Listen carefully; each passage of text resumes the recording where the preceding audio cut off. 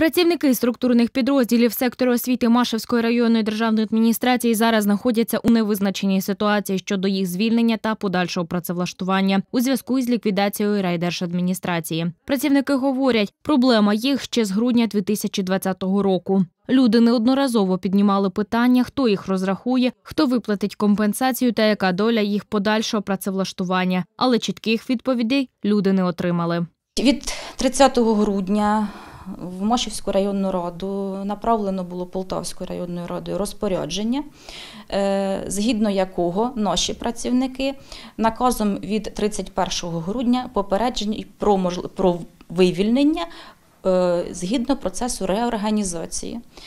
Е, Вивільнення заплановано попереджені працівники з наказом 4 січня і вивільнення заплановано 4 березня в двохмісячний термін.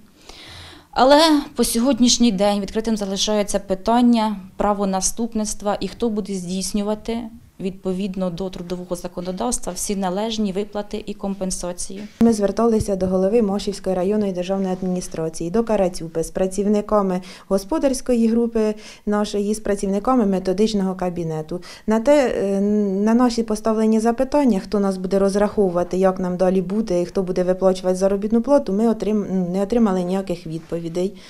Він сказав, я вас не брав на роботу. Все.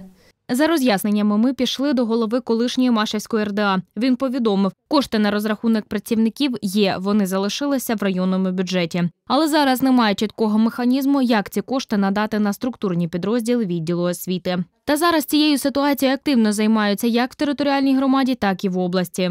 Головна тут проблема напрацювати механізм, як людям дати ці кошти. І над цим працюємо, в тому числі з департаментом фінансів обласної адміністрації і так далі. А так проблеми тут є. Ніхто їх звільнить, тут проблеми не буде.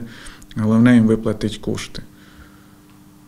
А правонаступники, хоч Полтавська районна рада, хоч Машівська громада, вони апелюють до того, що ці три установи не є юридичними особами. Як зазначив колишній голова Машівської райдержадміністрації, основним гальмом, через яке не можна передати ці два підрозділи до Машівської територіальної громади, є саме той факт, що вони не є юридичними особами. У 2003 році районна рада створила методичний кабінет та групу із централізованого господарського обслуговування, але документаційного завершення не зробила. За статутом саме Машівська районна рада була засновником цих підрозділів, але вони є структурним підрозділом сектору освіти райдержадміністрації. Ми їх е, попробували передати у громаду, але громада їх не взяла, тому що там також вони е, от, сказали, що е, отримували вони з місцевого бюджету, але вони люди держадміністрації.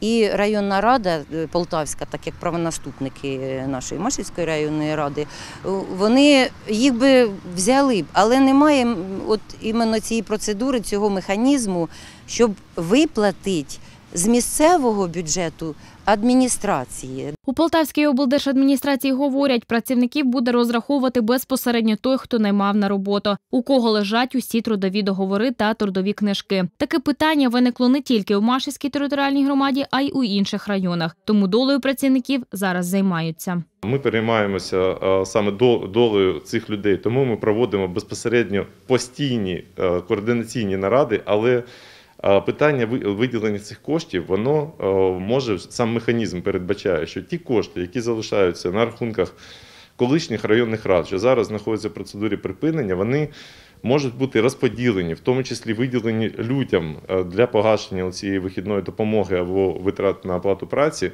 лише після заслуховування звітів У Полтавській районній раді також активно займаються вирішенням даної проблеми. Вже направили офіційного листа до Міністерства розвитку громад та територій України для роз'яснень, як передати кошти та розрахувати людей по законодавству. Ми звернулися з листом до Мінрегіону, щоб нам надали роз'яснення. Ми ж теж не хочемо порушувати закон. Да?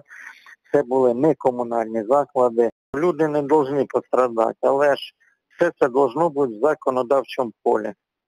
І перекладати те, що хтось не допрацював і тепер, е, щоб хтось порушував закон, теж воно як-то не зовсім правильно. Я думаю, що по-любому ми механізми тут знайдемо. У крайньому випадку, якщо будуть судові рішення, ми не будемо і оскаржувати нічого, ми їх виплатимо. Євгенія Манич, Сергій Глоба, телеканал Центральний.